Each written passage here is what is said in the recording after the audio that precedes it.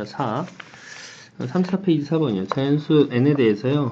음, 얘 값을 구하시오. 라고 했죠. 일단 적분식 먼저 정리해야겠어요. 4x를 적분하면 어떻게 되죠?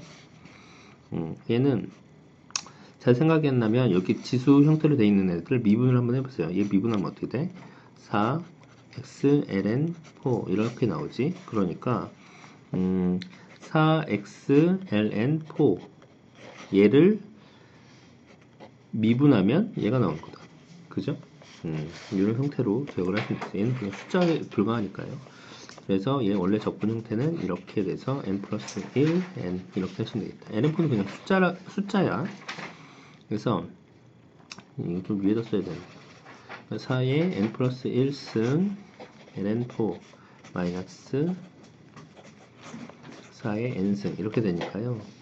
얘는 이 1을 밖으로 내면 그냥 4가 되는 거잖아요. 그래서 3 곱하기 4의 n, l, n4 이런 식으로 an이 정의된다. 그죠? 우리가 원하는 건 역수를 취하는 거니까 3 곱하기 4의 n승 분의 ln4 시그마인 거지. 숫자는 밖으로 빼자. 3분의 ln4 시그마 4 n승분의 1 이렇게 되니까 등비 급수가 되네요.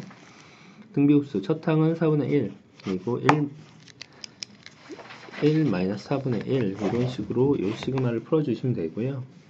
그럼 값이 어떻게 돼? 4분의 3분의 4분의 1이니까 3분의 1이네요. 그래서 얘는 9분의 ln4 이런 값이 나옵니다. ln4가 없네. 그러면 2의 2 3번 음, 늘어나시면 되겠습니다. 네. 지수 적분하는 거 좀 신경 쓰시면 되겠네요.